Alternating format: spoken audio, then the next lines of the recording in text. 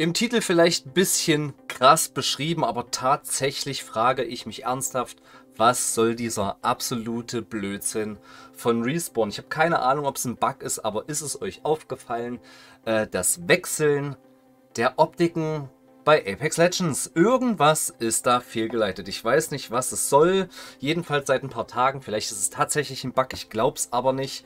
Ähm, ich habe jetzt in den letzten Tagen immer mal wieder gezockt. Ich dachte, vielleicht habe ich zu lange zu oft Resident Evil jetzt in den letzten Tagen gezockt und verdrücke mich jedes Mal. Aber es ist tatsächlich äh, kein Verdrücken meinerseits. Wenn ihr zwei Waffen habt und ihr wollt die Optiken ändern, müsst ihr jetzt auf der PlayStation X statt Viereck drücken.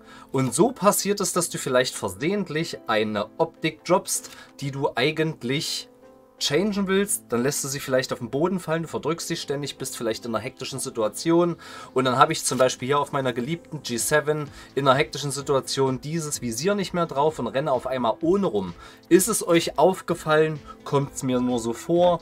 Ist hier irgendwas fehlgeleitet? Ich habe keine Ahnung. Auf jeden Fall geht es mir ziemlich auf den Zeiger, warum wir nach vier Jahren Apex Legends denken müssen, Lass uns bitte unbedingt die Tastenbelegung für das Swappen der Optiken ändern, um das zwischen den Waffen zu wechseln.